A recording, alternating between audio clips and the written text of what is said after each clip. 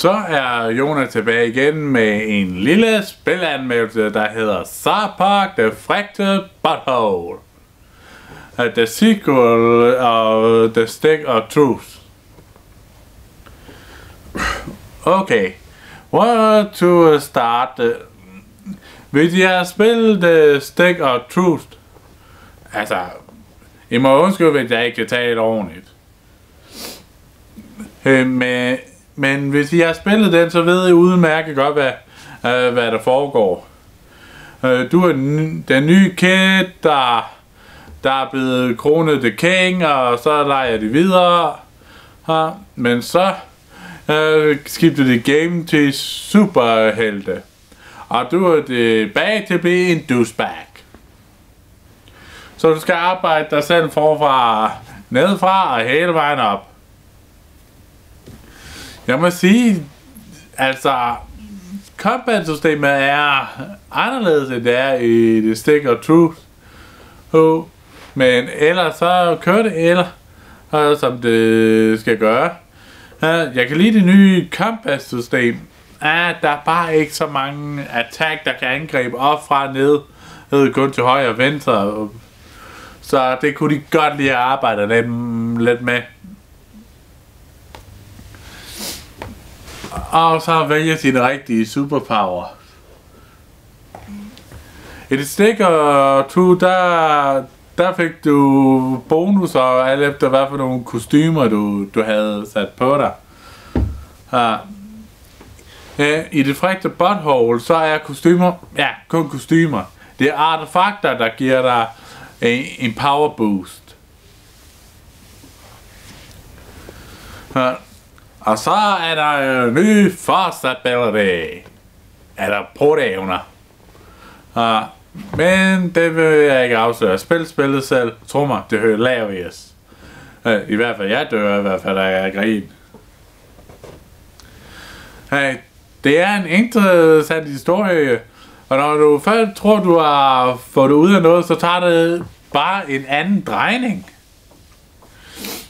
Hvor mange drejninger har den historie lige taget?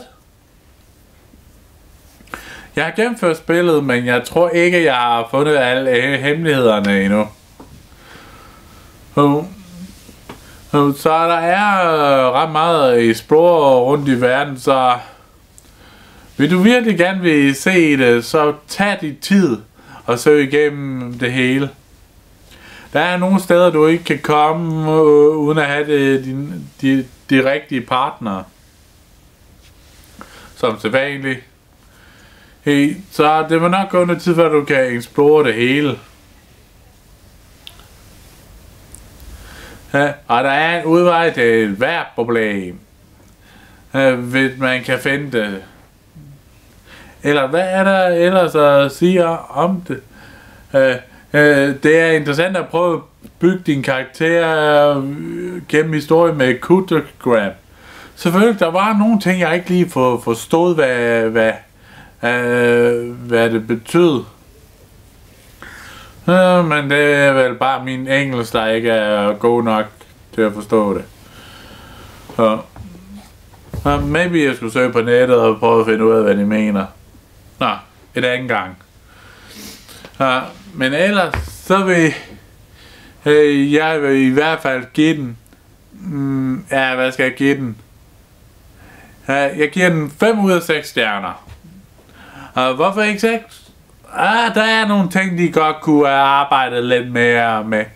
Uh, selvom de har lavet nogle delays og finpudset det. Jeg synes stadig, de godt kunne give den sådan lidt ekstra, lidt ekstra uh, til, Øh, til, til det. Øh, de, de, kunne, der, de kunne godt lige have taget det en tand længere. Uh, men det er bare min opinion. Uh, uh, men ellers, det, det er en, ja, det er en interessant historie, det det, det er. Og spillet har taget så rigtig mange drejninger, at jeg ikke øh, kan, ja, hvad skal jeg sige, jeg ikke kan helt følge med, hvor, hvilken del af historien jeg er i. Ja, men ellers, altså, så, så er det et spil, jeg højligt kan recommend. Ja, så, ja, med det er alt, hvad jeg har at sige øh, om det frægte butthole.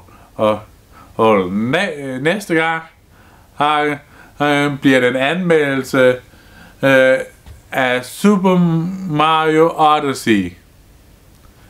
Hey, jeg har faktisk fået den, for den gennemført, og så er jeg klar til at anmelde den. Så vi ses næste gang.